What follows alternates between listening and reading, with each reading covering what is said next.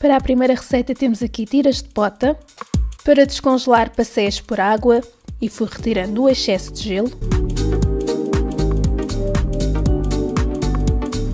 Depois comecei por retirar a pele.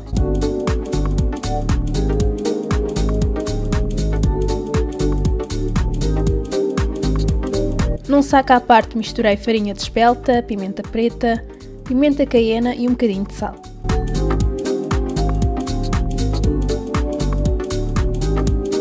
Fui juntando a pota e fui cobrindo com esta mistura. Para cozinhar fiz aqui uma experiência. Algumas potas levaram um tipo de gordura, neste caso azeite, e outras foram ao natural.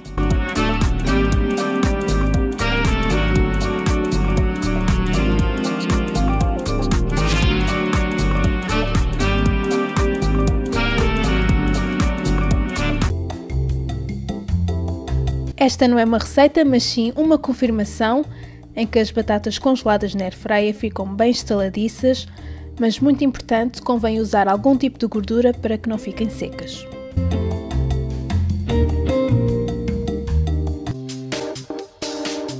Aqui temos berinjela, que fui cortando às fatias.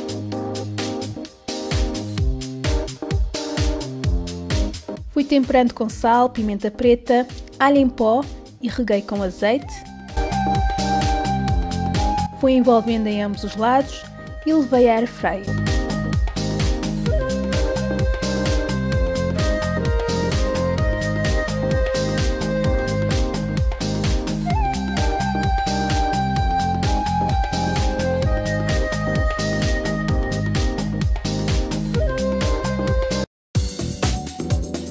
Já tinha partilhado esta receita aqui no canal estas salsichas caseiras de frango. Simplesmente triturei o peito de frango com os temperos, cebola, sal, pimenta.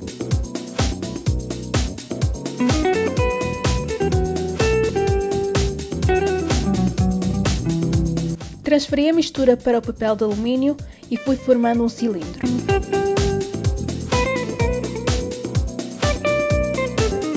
Cozi-os na água e finalizei na air fryer para que ganhassem um pouco de cor.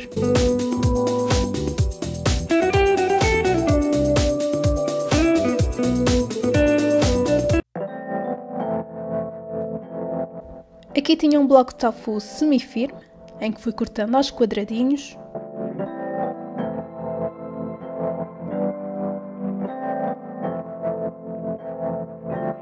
Temperei com curcuma, sal, pimenta preta, alho em pó molho picante e molho de soja.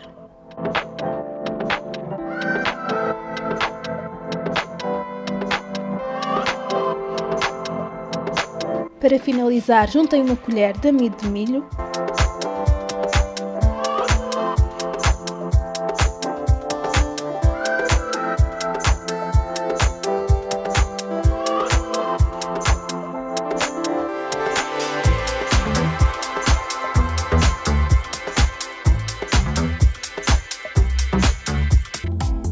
fica uma ideia super simples para cobrir as papas da aveia, banana caramelizada.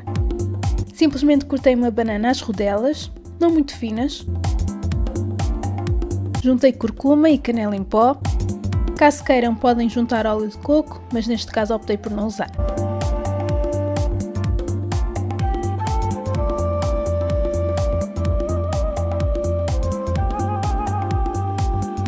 A minha receita favorita chips de tortilha. Numa taça misturei paprika fumada com pimenta preta e azeite. Fui envolvendo muito bem. Cortei as tortilhas de milho aos triângulos.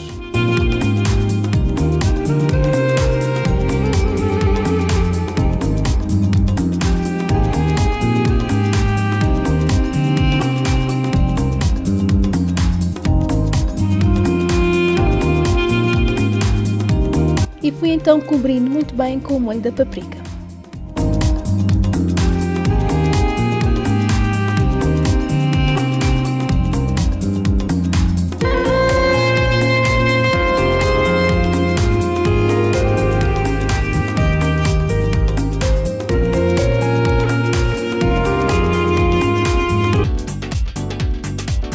Outra receita que resulta muito bem, espetadas neste caso de frango, Comecei então por temperar o peito de frango cortado aos cubos com o molho ariça.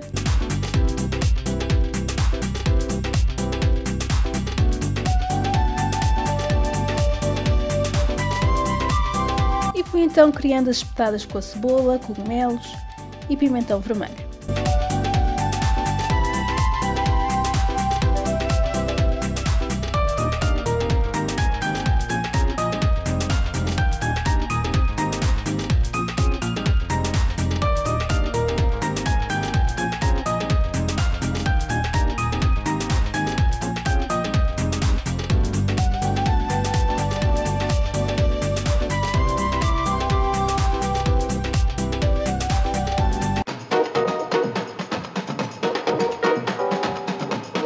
Aqui temos nuggets de frango panados com bolachas de milho.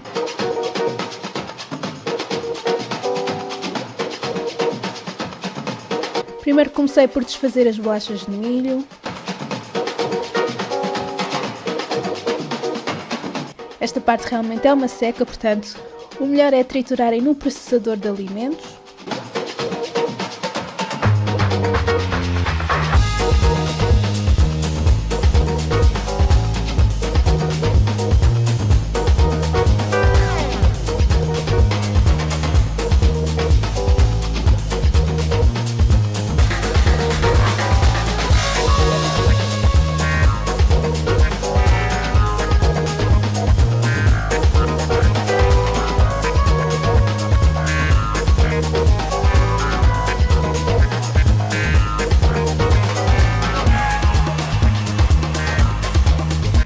Passando o frango novo batido e depois passei pelas bolachas de milho.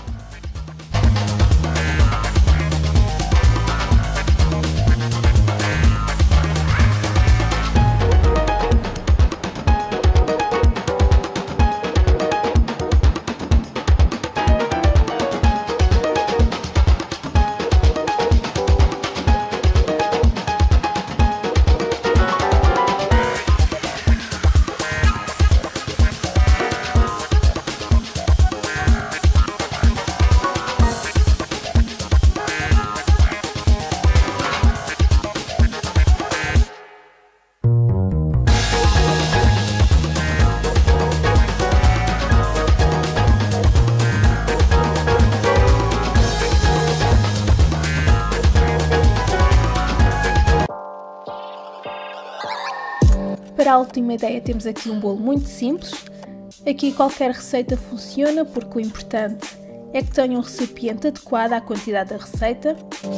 Fui então batendo um ovo, juntei açúcar amarelo, farinha de espelta e fui então misturando até obter uma massa homogénea.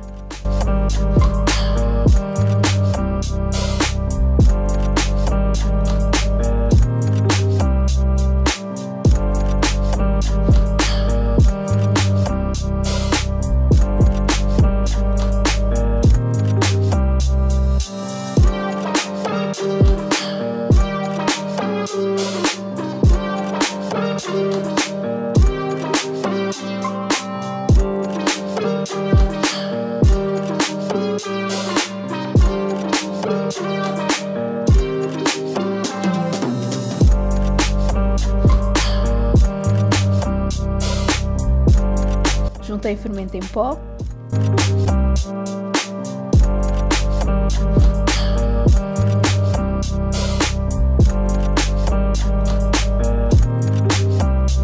Transferi a massa para uma forma de silicone e acabei por juntar pepitas de chocolate.